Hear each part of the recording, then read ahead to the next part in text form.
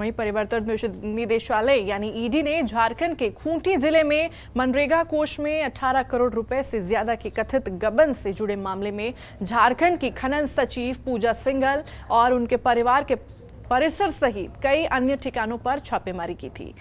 Agency को रांची में दो परिसरों पर छापेमारी के दौरान कुल उन्नीस दशमलव तीन एक करोड़ रुपए की नकदी मिली है। जाना, जानकारी के मुताबिक बता दें कि आईएएस अधिकारी पूजा सिंघल से जुड़े तीन मामले हैं। आय से अधिक संपत्ति, अवैध खनन और मनरेगा घोटाला। ईडी ने शुक्रवार को पूजा सिंघल से जुड़े 18 से ज़्यादा ठिकानों पर छापेमारी की है। इससे, इसमें ज़्यादातर छापेमारी जो है वो झारखंड में ही हुई है। उन्नीस करोड़ कैश ईडी ने जब्त किया है, जबकि पूजा सिंघल के सीए के यहाँ से सत्रह करोड़ कैश मिला है।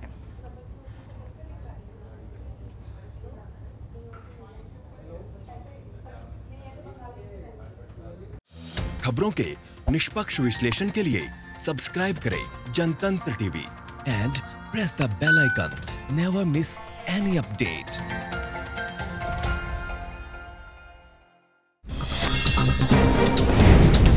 download कीजिए जनतंत्र टीवी ऐप को, जो कि अवेलेबल है गूगल प्ले और ऐप स्टोर पर। अधिक जानकारी के लिए अभी डाउनलोड करें।